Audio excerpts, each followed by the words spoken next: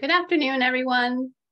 I'm just going to give a little bit of time so that folks can arrive into the virtual space before we begin. Welcome, we're glad you're here.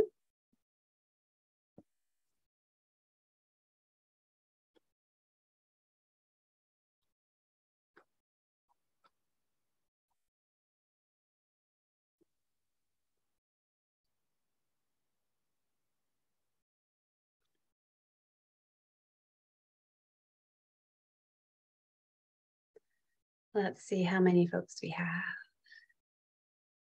A couple are still trickling in. It's a beautiful day here in Philadelphia. I'm so glad that you decided to come inside from the sunshine and join us online for 30 minutes, 45 minutes. It's one of the first nice days that we've had in Philadelphia. So thanks for thanks for coming and spending a little bit of time together today. Um, I am Stephanie Bailey. I'm the Education Program Manager and Preservation Consultant at CCAHA. And it is a real pleasure to welcome you today to this webinar entitled WUDPAC Preventive Conservation Associate Experience, presented by Margalit Schindler. I couldn't be happier to introduce Margalit and to thank them for their work in the Preservation Services Department this past year it was a real pleasure to be on a team with Margalit, and I'm looking forward, as I know you are too, to hearing about what brought Margalit to CCAHA and the passion for preservation that fueled Margalit to spearhead two major initiatives while she was with us. One of the initiatives was a partnership with Archives for Black Lives in Philadelphia as part of the Community Stewardship Program, and the other deep engagement in a series of webinars and virtual dialogue sessions called Let's Talk About That Dialogue and Change in Collections Care. Both of these projects generated rich conversation, built community, and produced a useful and accessible tool available for free on the CCAHA website. Margalit is so, so very soon to be a graduate of the Winterthur University of Delaware program in art conservation. In fact, we were just chatting about graduation before we opened up the webinar and the timing is very, very close. It's like next week. So early congratulations. Margalit has worked at institutions including the Cleveland Museum of Art and ICA Art Conservation and is currently principal of Pearl Preservation LLC.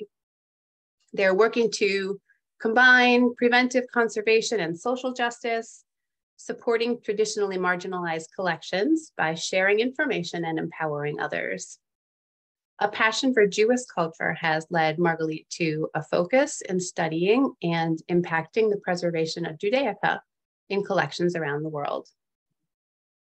So that we can now hear from Margalit, uh, I'd like to ask that you please Mute yourself until after the presentation when Margalit will then take questions. Remember that a recording of this session will be sent to all of you in the next few days. If you wish to activate the captioning for this presentation, that option is available to you now. Uh, just go to the bottom of the screen and tap on the CC button. My colleague Alana Schaefer is here in the Zoom room with us as well. And you can feel free to reach out to her via the chat box um, for any troubleshooting. Um, you can select the CCAHA from the pull down menu in the chat box. Lastly, if you prefer to type a question to Margalit rather than ask her at the end of the presentation, ask them at the end of the presentation, that's okay too. You can just type the question into the chat box at any time. And at the conclusion of the webinar, uh, when you close out of the Zoom room, a survey will pop up automatically. We would really appreciate it if you would just take a moment to fill out that survey. This webinar of the Conservation Center for Art and Historic Artifacts is supported by the National Endowment for the Humanities, Independence Foundation, and the William Penn Foundation. Margalit, thank you for sharing your time with us today. And I am now going to mute myself so that we can listen to you. Thank you, Stephanie. Thank you for that lovely introduction. Thank you for giving me this space and time to share um, what I've been up to this past year. Um, the year flew by, and Stephanie and I were laughing at this picture earlier because it's it's the old logo with the curls and my old hair with more curls. Um, and so really a lot has changed over this year, and this presentation really gave me an opportunity to look back, reflect, and and think through some of the really exciting things I I worked on. Um, so, like Stephanie said, my name is Margalit. I use they, them pronouns. I am one week away from graduating um, the Winterthur University of Delaware program in art conservation. Um, and it's been a long time coming. It's been about a decade of working in museums, um, libraries, and archives. And I'm just so thrilled um, to be a part of this community. And this fellowship experience has really set me up for success. And so with that, we'll jump right in. There we go. Um, so I'd like to start by acknowledging the land that I've had the privilege to live and work on for the past year. I believe that a land acknowledgement uh, should be about understanding our personal relationship with the land that we're on and how we got here. For me, both sides of my family originate in Eastern Europe and came to this land as Holocaust survivors and refugees who were given sanctuary from violent persecution and complete displacement. And on both sides, I am the second generation to be born on this territory, which itself came from the violent persecution of Indigenous people. By acknowledging the Lenni Lenape and Wahnake Hoking communities, I can begin to embody the Jewish value of tikkun olam, healing the world through, through reparative social justice. And so, with that, I acknowledge that I currently reside on the unceded, ancestral indigenous territory of the Lenni Lenape and Wahnake Hoking people of the Delaware watershed who have stewarded these lands for centuries and continue to do so. The Conservation Center for Art and Historic Artifacts, CCAHA, um, I'm sure you, you may know, is, is a regional conservation lab uh, that specializes in the treatment of paper, photographs, and books. Located in Philadelphia, CCHA serves the region, but also works beyond Philly and is a really wonderful primary resource for cultural heritage and preservation needs around the country. In addition to treatment, CCAHA has a robust digitization and photographic documentation program an outstanding team of housing and framing specialists, um, and the Preservation Services Office, which is responsible for surveys and assessments, consultations, education and workshops, and emergency response and planning, including many other hats that they wear. And so one thing that drew me to this PSO setup and this particular team um, was how embedded education is within their structure. And I firmly believe that education is preventive conservation. And so, with that, my fellowship was situated within PSO, and I worked as part of the team on many projects. But for this presentation, I'll focus on the following. The surveys and assessments I was able to perform remotely and in person. The Community Stewardship Program, a pilot program to support non-institutional collections, and the Let's Talk About That dialogue series and subsequent toolkit, which brought together really amazing and thoughtful presentations a great space to process and share our feelings and what we had learned, and a document that will hopefully ignite conversation between colleagues and within ourselves. Um, over the course of this year, um, I'm really grateful to have been part of four large scale assessments. Um, assessments are an essential function of a preventive conservator. The ability to step into any collection, to describe the current state of the collection, to look around and identify risks and needs and connecting those needs with resources and action items. To me, that is the bread and butter of what we do here at PSO. Every assessment is dependent on the specific collection, making each one absolutely unique. Um, that challenge is, in my opinion, always exciting. And it really pushes me to consider what is important, why it's important, and the realistic goals in each circumstance while each of these collections is worth sharing, um, the most engaging and visually stunning project was the CAP assessment of Isaiah Zagar's Watkins Street Studio.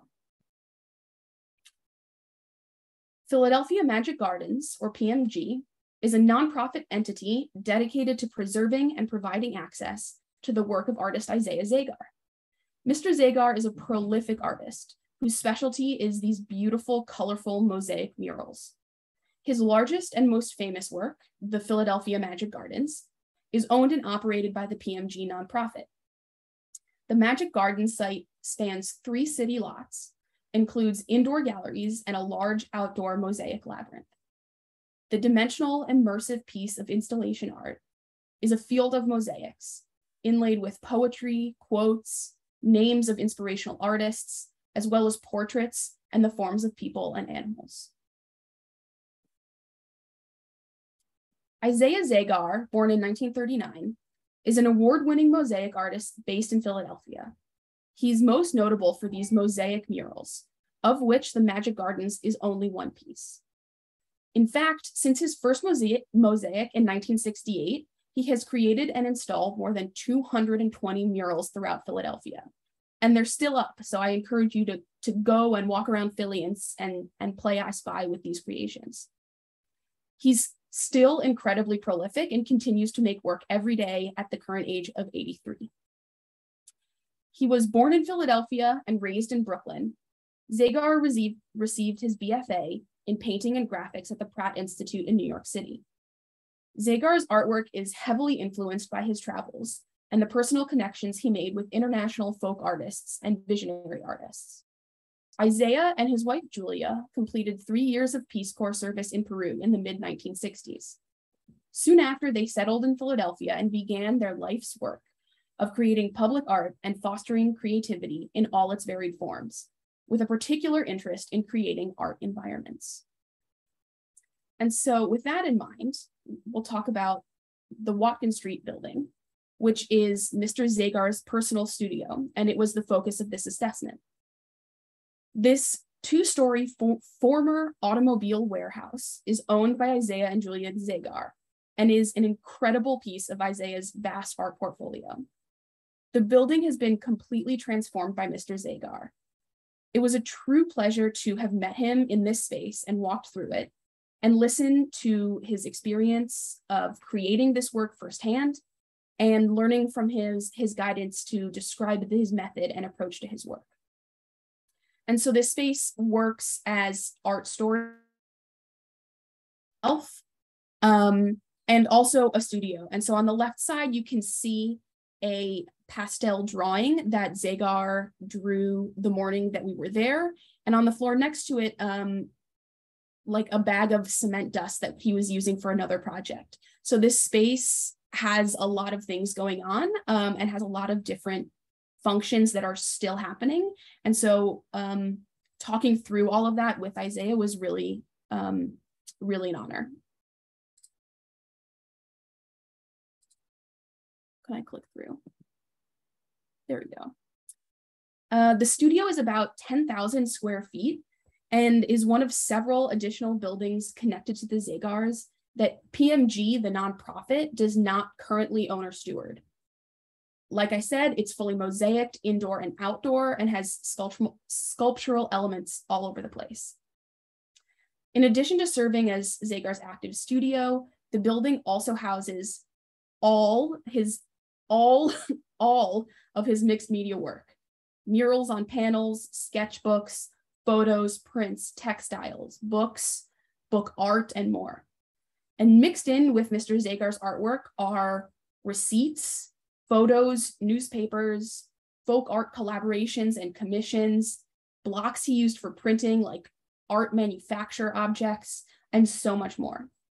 Um, Executive Director Emily Smith described Watkins Studio as one big diary with artistic, archival, historic, communal, and aesthetic value.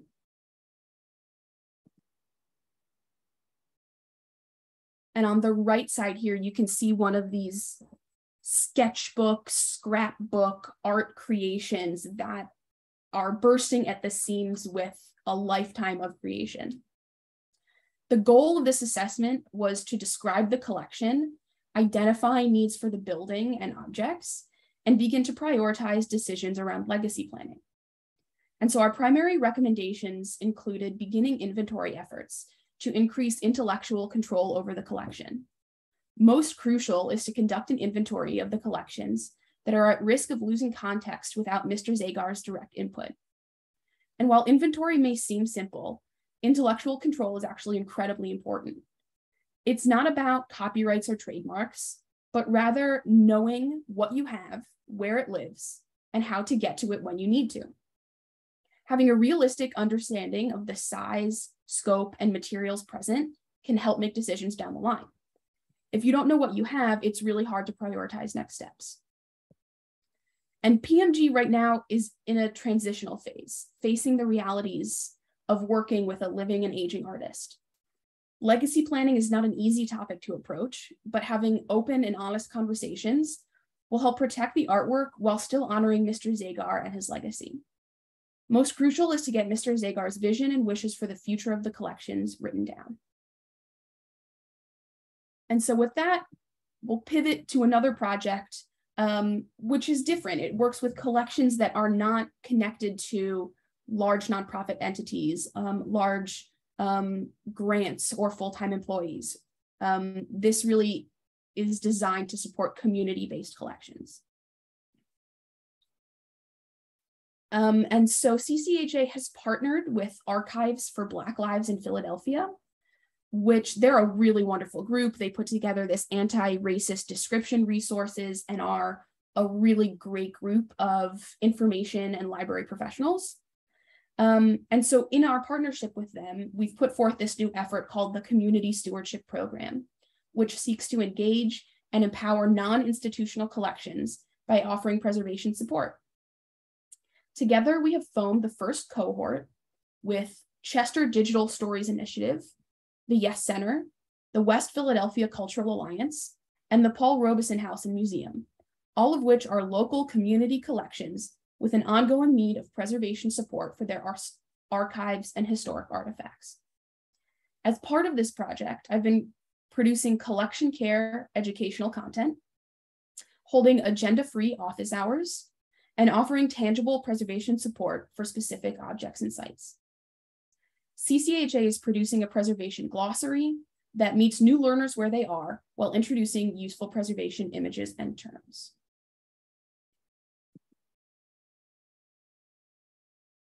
When developing this program, which is really a pilot program, um, this was us really trying to see what would work and um, asking the community members what they needed and what would help them in this moment. And so we drew up this logic model, which is a graphic representation of the relationship between a program's resources, activities, and its intended effects. Um, this was really to help helpful to kind of lay out in the beginning um, to see how we could leverage our formal knowledge of preservation and the digital infrastructure that CCHA already uses um, to make steps towards our outcomes and impacts. Um, the outputs are easily measurable. Um, the number of office hours we had, the number of participants that came, the number of in-person meetings we had. Um, and those were all really exciting. The outcomes, um, the outcome category is a little bit more esoteric, a little harder to measure. Um, but our goals were to build knowledge and awareness of preservation, build confidence in non-professional collection care groups, and build a community of stewardship. And I, am really glad to say that after this year, um, I think that in many ways, all of these outcomes have come to fruition. During our site visits and our conversations with um, the different groups around Philadelphia, we began unpacking these collections, both literally and metaphorically. We discussed storage practices, collection care policies, and their goals for the future. During these conversations, it became clear that the conservation field uses really specific words to discuss and describe collections that many people either don't know or would not think to connect to preservation. We realized that language was acting as a barrier excluding those non-professionals from fully participating. And so that is how we decided to create a glossary with definitions, images, resources, and links that showcase key terminology in the categories of damage, materials, and general preservation. With more than 100 definitions and 80 corresponding images and diagrams, This resource is unique in its breadth of terminology and in how it supports a variety of learning styles. By including visuals and images, this glossary allows for further understanding of each term, hopefully allowing users to identify and apply it to their own situations. It is my hope that this resource eventually gets translated, making it more accessible to non-English speakers. This document can be found on CCAHA's website and is free to download and use. This was my favorite page and layout from the glossary, and I would love to see it as a poster hanging on um, studio or shop walls. This was really fun to think through and put together. Um, and while it was not a hands-on project with objects, it really took a variety of skills, including document design, technical writing, and a working understanding of the preservation field. It included researching existing glossaries, collecting appropriate examples, and considering the practical use of each entry. So far, the response to this resource has been overwhelmingly positive, and I look forward to continuing to make preservation more accessible.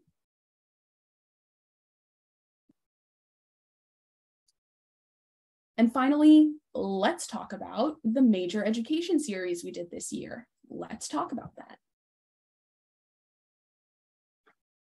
Actually, let's jump back a little earlier um, and note that in, in March of 2021, attendees gathered virtually for CCAHA's colloquium, Many Voices, Diversity and Collections Care, which brought together amazing speakers um, and highlighted some of the most pressing diversity, equity, and inclusion issues in the field.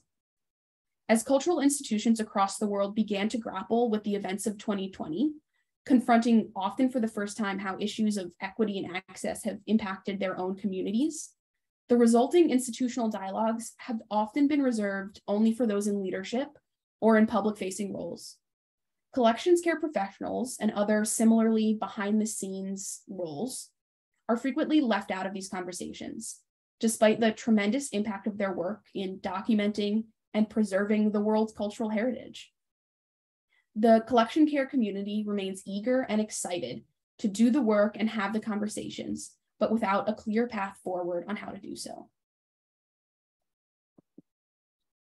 And so the Let's Talk About That series was designed to combine this eagerness with the incredible work that was already being done in the field to begin building a DEIA infrastructure within collections care that can be sustainable beyond this moment in history the goal is not to serve as a definitive authority on, on these topics, but rather a guide for continued conversation shaped by these community dialogues.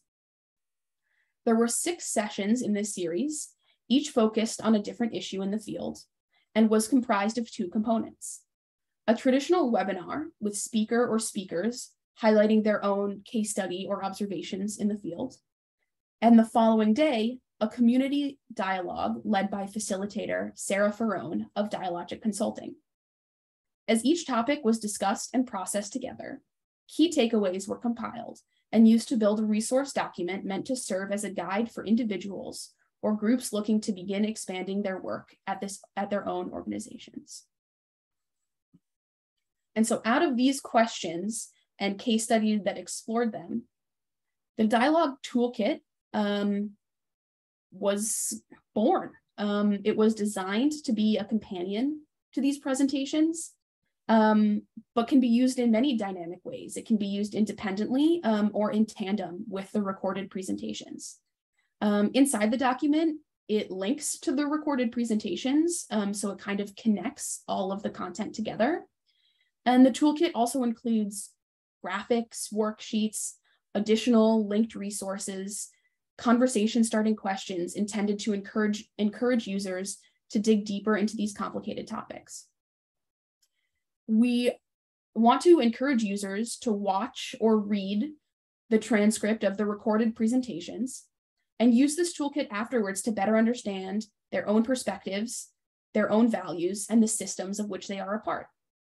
This activity can be done individually for introspective learning, um, or it's actually truly intended for use within a group to facilitate dialogue uh, between cohorts, colleagues, and communities. Um, and just off the top of my head, um, you can see on the bottom, the bottom row, the second one from the left, personal capacity inventory, gifts I can give to my community, um, is a page I just shared with a friend who is switching careers and doesn't know what steps to take, um, doesn't know how to pivot from one industry to another. And so I gave them this, this worksheet so they could do exactly what it says, list out all of the things that they know how to do. Um, and they can then look at this sum of skills and, and move forward from there in their application process. So that's just one um, non-museum way that this can get used. Um, I'm excited it will be used in, in many ways. And actually CCHA is, is interested in hearing how you do end up using this. And so please reach out to Alana Schaefer um, or Dyani Feige with any interesting thoughts, comments, or uses. And so this is a picture of all of us and the Dipsney crew, um, the one time all of us were together. And I'm, I'm really just so grateful to CCHA and this group of wonderful colleagues for this year of learning and growing and sharing preservation with amazing new audiences. So thank you to the PSO team, including Dyani Feige, Alana Schaefer, Stephanie Bailey, Amelia Emig, and Maddie Cooper for their support in a year full of challenges and uncertainty. Um, it was pretty crazy to jump into a full-time fellowship in the Corona times, and um, CCHA has been nothing but gracious and understanding um, in this uncertainty. And so my next steps, um, I'm starting my own private practice, Pearl Preservation, and I'll, I'll be staying local in Wilmington. And I really look forward to staying connected with CCHA and working together to preserve the heritage of the region.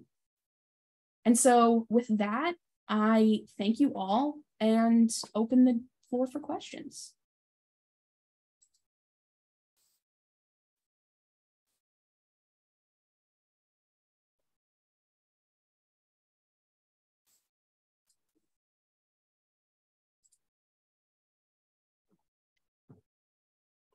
Thanks, Margalit.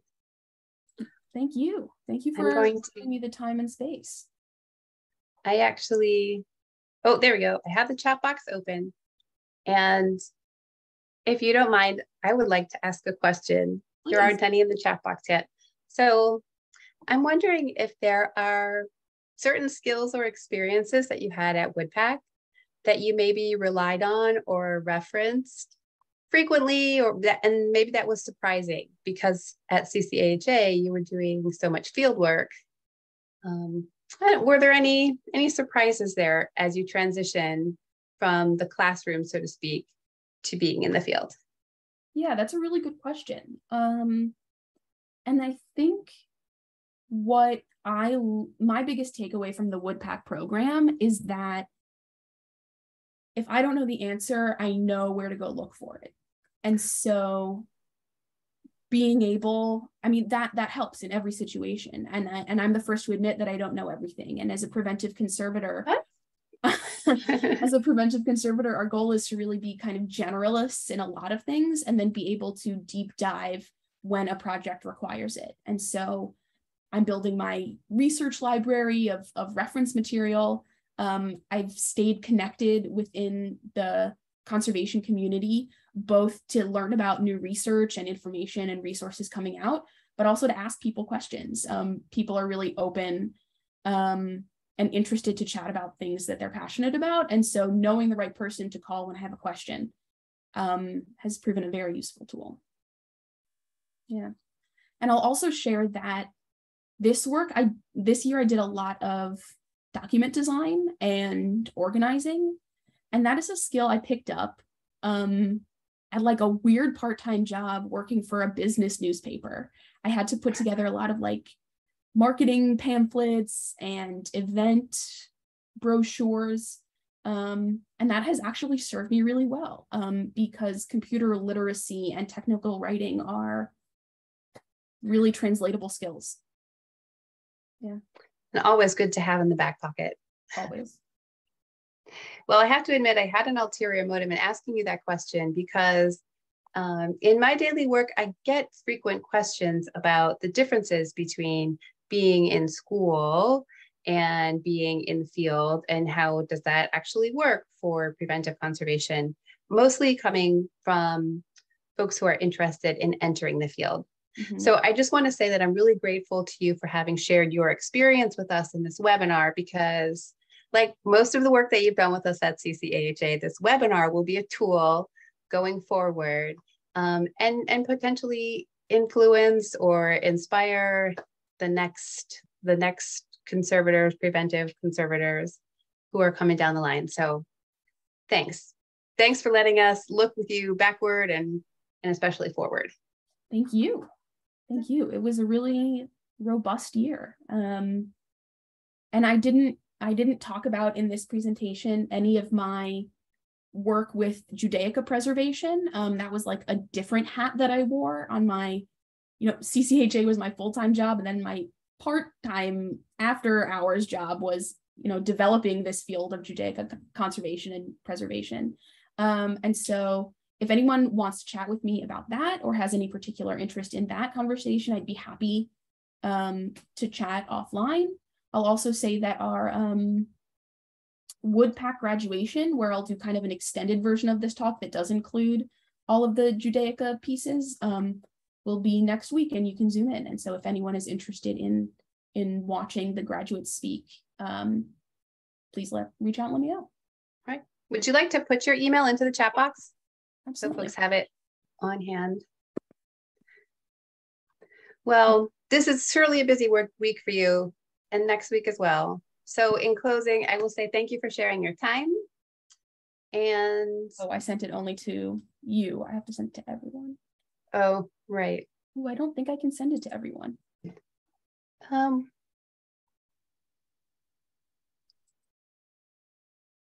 Well, you know what? We will um we'll make sure to include it. Yeah. We'll make sure to share it in a follow-up email. Perfect. Great. Thank you, Margalit. I'll say goodbye for all of us for now, but not for long. We'll see you around. Yeah, absolutely. I'm I'm local and I'm looking forward to collaborating. And when you get weird questions about school, please send them my way. And when I have interventive treatment, I'll send them to you guys. Sounds good. Thanks. And thank you all. Take care.